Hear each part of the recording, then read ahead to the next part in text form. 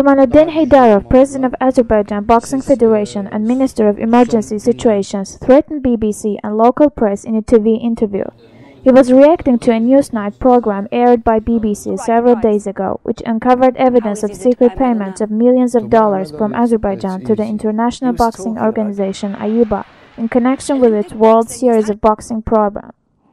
Whistleblowers say that WSB's chief accepted the money in return for a guarantee that Azerbaijani boxers would win two boxing gold medals at the 2012 London Olympics and boxing organizer at AIBA, the organization charged with organizing Olympic boxing, admitted that an Azeri national paid 9 million USD to AIBA, but AIBA vehemently denies any deal to fix medals.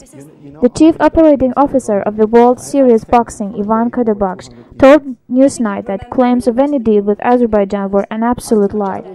However, documents obtained by Newsnight show communications between Khodabakhsh, AIBA executive director Ho Kim, and Azerbaijan's minister for emergency situations Kamaladdin Heydarov regarding an investment agreement for a $10 million loan. The Minister of Emergency Situations, Kamaladdin Heydarov, gave an interview to the local TV stations about the allegations of deal to fix medals. Dismissing the libel report aired by BBC about AIBA and Azerbaijan, they will get their reply. I mean, it's not a good thing to disseminate a false report to the world community based solely on someone's allegations, and therefore, they should account for that. AIBA and the Azerbaijan Boxing Federation have all that necessary facts. What they are claiming is slander to World Series of Boxing and to the individuals involved, Kamaladdin Heydarov said.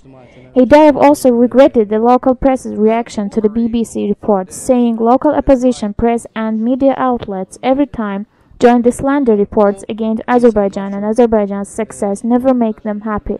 He added that it will not continue this way.